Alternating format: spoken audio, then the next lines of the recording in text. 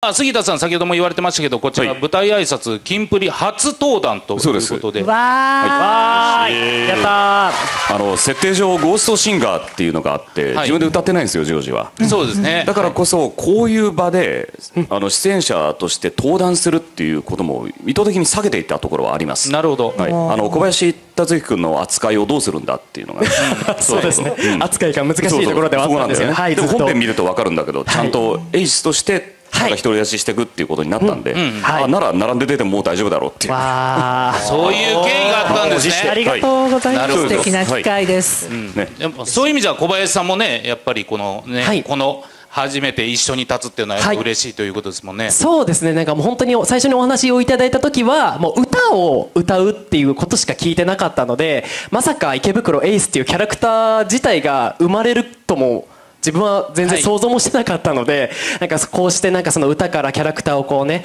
あの生み出してくださったあの監督だったりとか、関係者の方にはなんかすごい感謝してますしこうしてなんか杉田さんと一緒にご一緒できるっていうのがもう嬉しいです。はい幸せですよね、はい。それをね皆さん見れたっていうのもねこれ嬉しいでしょうし。ありがとうございます。素晴らしい舞台挨拶だ。ハッピーです。ハッピーだ。ありがたいです。高田の馬場ジョージさん初代プリズムチャンピオンおめでとうございますやったー！喜んでる。さすがだ。そうですよね。いやーまああとジョージのねこのジョーカーキスも CG ではいね、えー上映されました、はい。エースさんもねしっかり出てましたし。はーい、嬉しい、なんかえすすすっすって略していいんですかね、あのはい。シャイニーセブンスターズの時は、はいろいろ物語があって今回の上映ではちょっとそこがあのはしょられてはいるんですけれども、あのなんかなんだろうプリズムジャンプではやっぱりジョージにはかなわないエース君なんですけど、はい。あのジョージのためにあの一生懸命歌を歌っておりますので、それがね CG で見れるってなってすごく大興奮でした。皆さんどうでしたか？いやめっちゃ可愛かったです。よかったな。最高です。はい。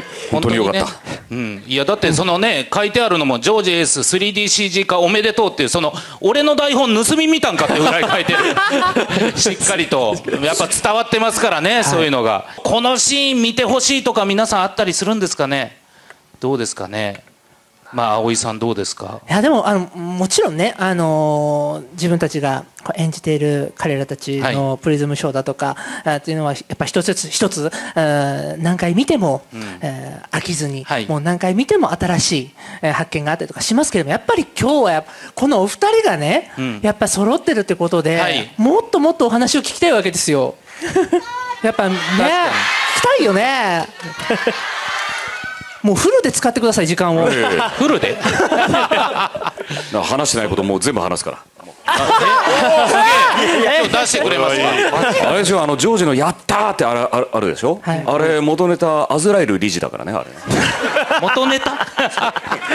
元ネタ？なんか急になんはかアズラエル理事やりてえなって本番で思って「やった!」って言ったらなんかそれ OK 出ちゃった。なんで OK 出ちゃったの？OK 出る出ちゃう。の出るんだよな。OK って出ちゃうんだ出るんだよな、この作品。出ちゃう急にね、うん、あと本当にな頑張るジョイも、あれ台本に書いてなくて。え？いや書いてなかったですよ。そうなんですか？本番でいきなり言ったらどうなるかなって言ったらそのまま通っちゃったんで。通っちゃった。ええその後なんか台本で反映されてねやたらジョイジョイ言うようになったから。確かにそうですね。ジョイジョイ？大丈夫かな？チャレンジジョイの CM 来ねえかないやなんで？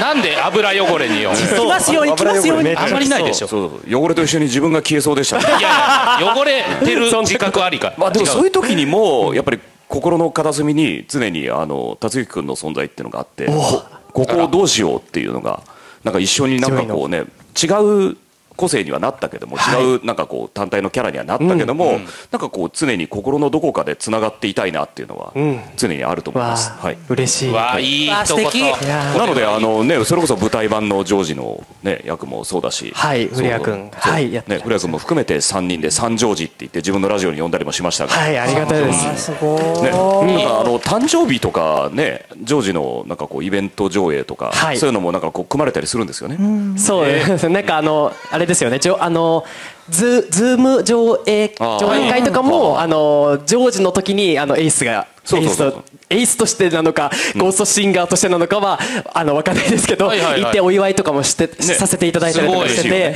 はいだから自分にとってもなんかやっぱジョージなしでは生き,、生きれてないというか存在してないと思うのでやっぱりジョージはなんかやっぱり可愛いですね。あいえいえ。ありがたい。いです。自分としてはそのできない経験をこう叶えてくれたのが高野馬場ジョージとキンプリとそして支えてくれた皆さんだと思っています。あの歌を歌わないやつがアイドルものに出ていいのかっていう意見がいつもあるんですよ、うん、おこいつ歌も歌わんとなんで出とんねん死ねやっていうのはもう死ねやはない死ね。やはない思ってどういう世界観配信してるか？配信してるか？ごめんな。世紀末死ね。やあるわけないでしょ。結構そういう、まああのお言葉をいただくんでいただかないでしょっていうだけでうん。まああるんだけども、まあでもそれをこう不可能を可能にするっていうのがよほどのことなんだなっていうかね、いやでも本当に小林達之君とエイスと、はい。